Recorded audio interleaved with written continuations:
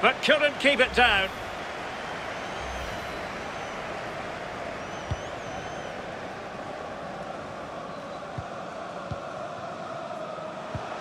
This might have potential.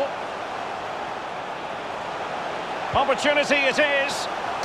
A goal! We're really being spoiled. This is attacking football at its finest.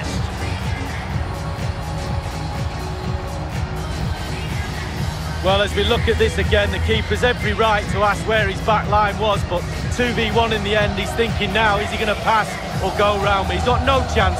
Well, let's take another look at that goal, shall we?